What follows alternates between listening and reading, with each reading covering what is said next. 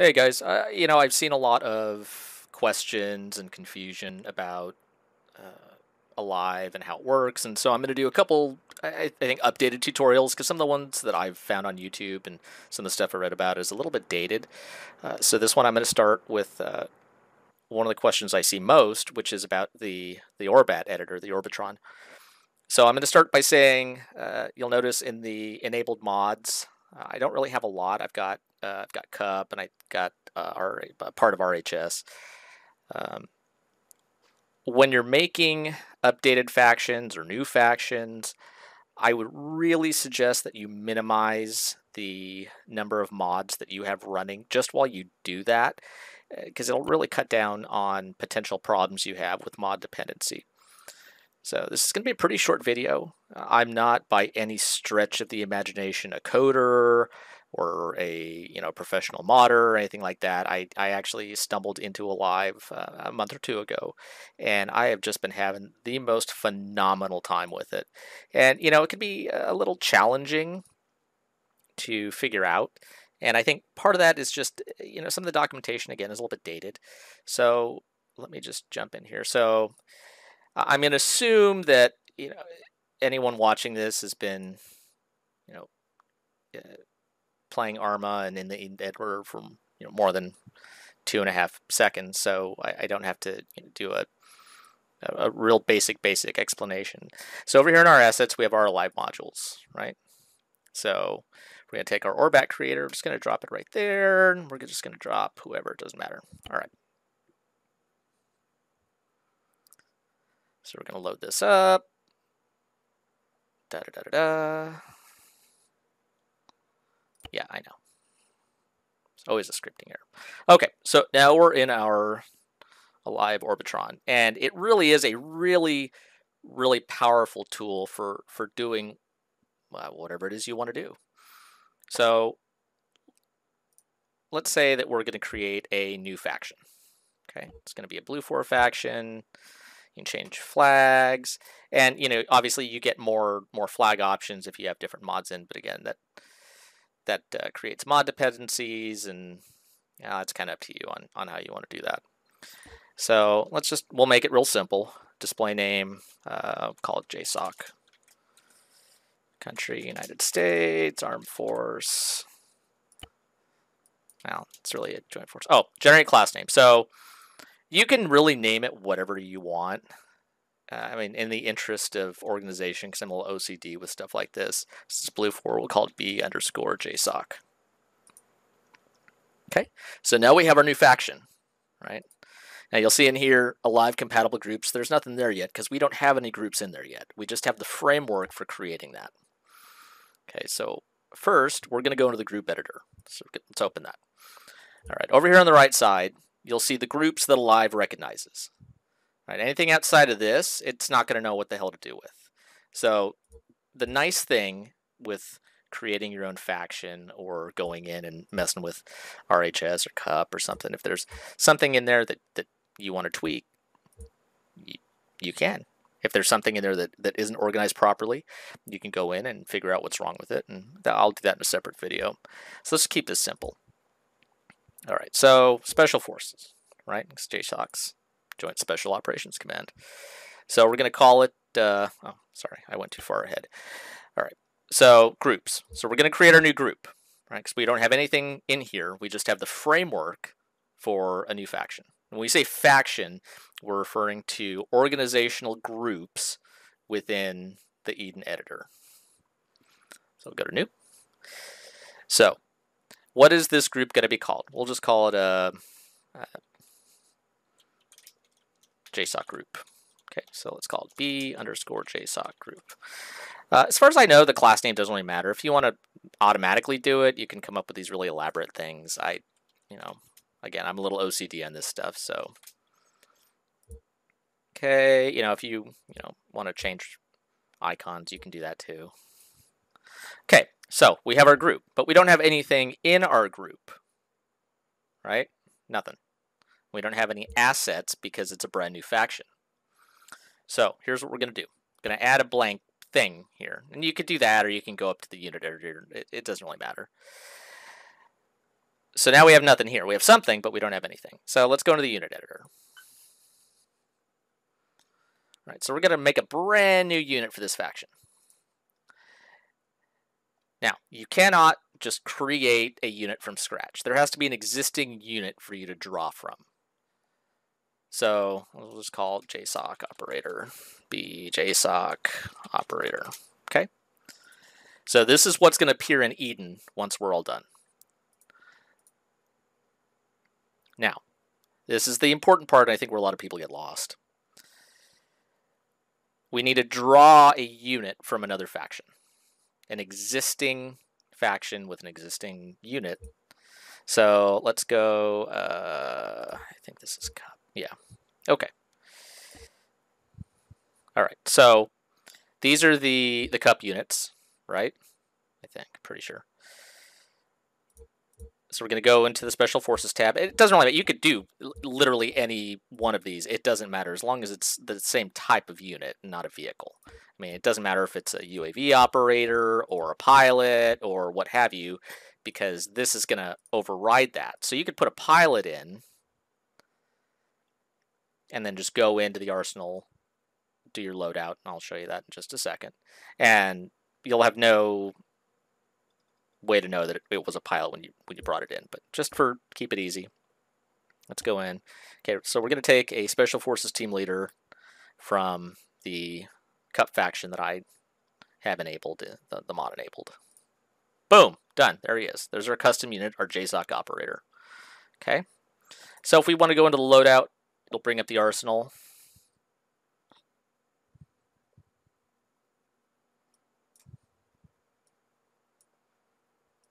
right? You guys all know how to use the arsenal. Okay, he's fine.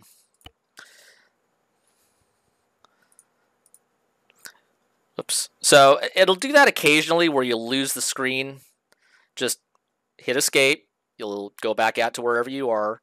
Hit the uh, the right, not the Windows key on the left, but the other one on the right. I just forget that, what the hell that's called. It brings up the thing to bring up your live menu, and just go back into it.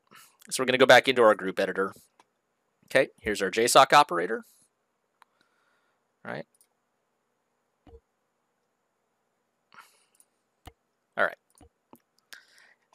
So here's our guy, right?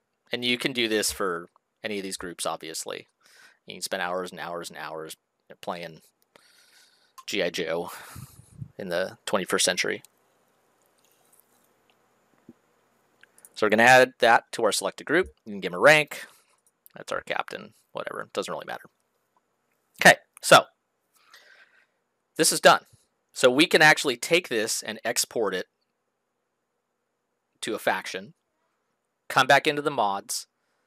I'll show you how to bind everything into a PBO. And when we come back into Eden, it should be a fresh faction for our JSOC operator.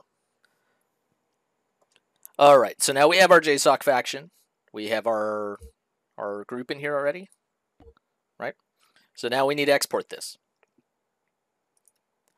So we've got a lot of options in here, and, and I'll go through everything in a, in a subsequent video, but let's just keep it simple. So we're going to take our full faction, right? Export full faction. Boom. Config data copied to clipboard. So we're just going to go into uh, go into a Word here. Could be Word, Notepad, Word. It doesn't. It really doesn't matter. It, it doesn't matter. So paste that in there. Okay. So now, going to open another window. We're going to export CFG patches, this option at the bottom here. Boom, config data copied. We're going to paste that. Okay. All right, so this step is important, and I kind of glossed over it the first couple times I did this and couldn't figure out why the hell it wasn't working. So uh, and I will put the link. I mean, you can see it up here in the URL bar, but I'll uh, I'll put a link in the description. So download the add-on template from Alive GitHub here. Okay, so this is GitHub, uh, which I have recently learned is kind of cool. So AutoGen tool for Orbats. We're going to download that. Right. I already have it open down here. All right, so it's just a RAR file. Unzip that bad boy. You're going to see a folder in here called test mod. So let's open that up. Add-ons. Boom. Test. Jesus. Okay. So keep all of these files together. You will need them all. Now, some of this stuff should look kind of familiar. So what we're going to do, first we're going to go into AutoGen. AutoGen is where the faction information that you copied goes, and CFG patches, well, that's where the CFG patches stuff is going to go. So we're going to open up the AutoGen. Whoops. So I've got like 15 screens up. Okay. So this stuff I was playing with. Okay, so we're going to go to our full faction here. Right? So this is what we've exported. JSOC. Ba, ba, ba, ba. Oh, it was RHS, not cup. Oh, shit. Oh, it doesn't really matter. It's just a test anyway. All right, so we're going to copy that. All right.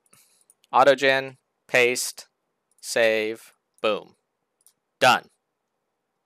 Okay, don't need that anymore. Uh, where do we go? Test. Okay. Now we need to go into CFG patches. Boom. Okay, CFG patches, JSOC operator. Going to copy this. Boom. Paste, save, done. Okay. So, now we're going to go into where the hell Steam is. Okay. Arma 3 tools. So it can be kind of hard to find. Uh, I, I knew I had it, but I couldn't figure out. A uh, little pro tip, go up here. You can check uh, tools, and then it'll it'll pop up. And it's free. So we're just going to launch that. Okay. We're going to launch the add-on builder. Boom. Oh, you know, I forgot to do, actually. There's our add-on builder. Okay, so we're going to take th these files, all four of them. So remember, we put our faction info in AutoGen and the CFG patches export we put in CFG patches. You don't have to do anything else. So you can do this any way you want to. Do it my way, do it your own way. If you do it my way, you know at least it's theoretically going to work because I'm going to show you that it works. So we're going to make two folders in here. First is going to be called prepacked. Second is going to be called packed. So we're going to go into our prepacked, paste. These are the files that came from the RAR, that came from the Alive Wiki. It's your template for packing PBOs. Right, now we're going to go back to here. our ARMA 3 add-on builder. And I think I should. So that's it's just in ARMA 3 tools. Okay. So we're going to go to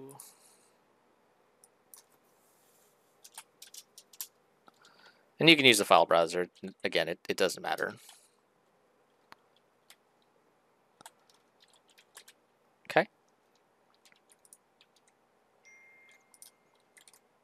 We're just going to go here to packed.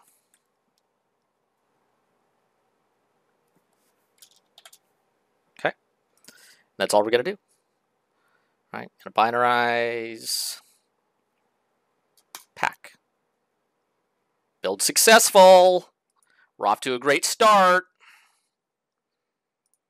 Okay, now we're going to go into our packed. Boom, there's our PBO. Isn't that great? Now, also important,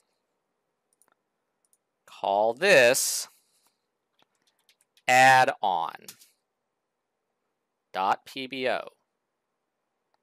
So we're going to take this file and we're going to go to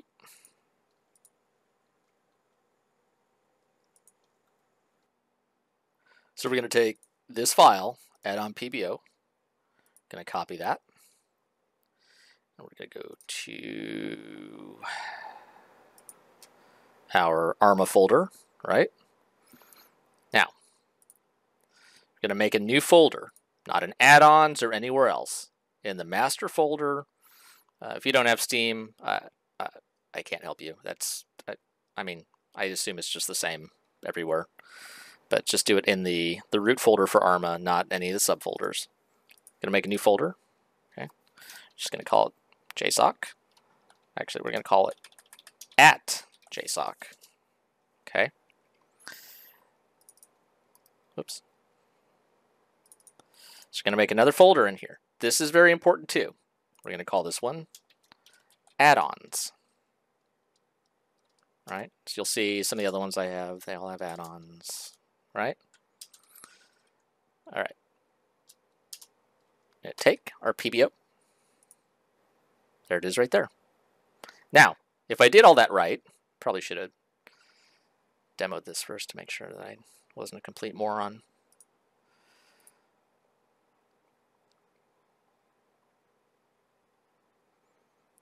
Okay, so now, back in our, our ARMA 3 loading screen, go up here to local mod. Here's our at JSOC. Double click on that. Boom, select folder. Was installed. Load mod. There it is. Fingers crossed.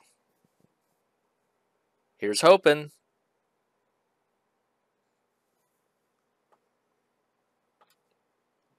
Shouldn't take the seven hours it usually takes to initialize all the add-ons, since I only have a couple running. Not the not all of the 378 that I have in my mod library here. We should have a contest to see who has the most ARMA 3 mods active at any one time.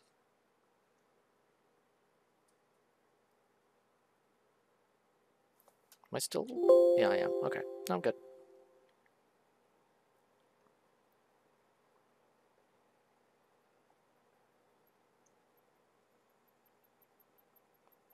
Any day now. No rush. I'm hourly. Okay. Now we're going to go into our editor. Maybe. Maybe not. Did I break it already? Nope, we're good. Okay, so it loaded. So that's nice.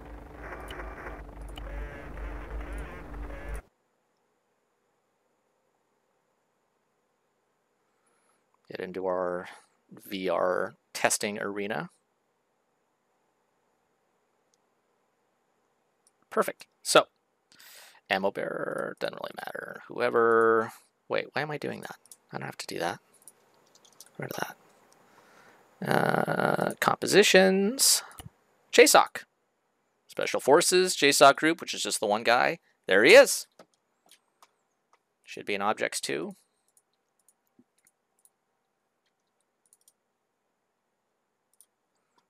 Normal, playable.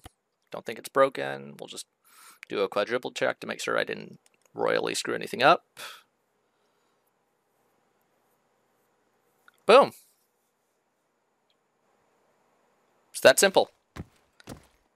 Once you get the hang of it and you, you play with it a little bit, uh, you can I mean you can create a, a full-fledged, fully equipped army with whatever gear, weapons you want, you can get it done inside of an hour. You know, if you're just doing a real small group like a, like this JSOC group, and you know you can get get it done in 10 or 15 minutes. So that concludes. Nah, that's rude. That concludes the video, my basic basic demo on how to use Alive's ORBATRON, how to export it to factions, or how to export factions, how to pack the PBOs. If you have any questions, please leave me a comment. I'm not going to ask to like and subscribe because I don't really do this for a job, but if you want to like and subscribe, that's cool too. Okay,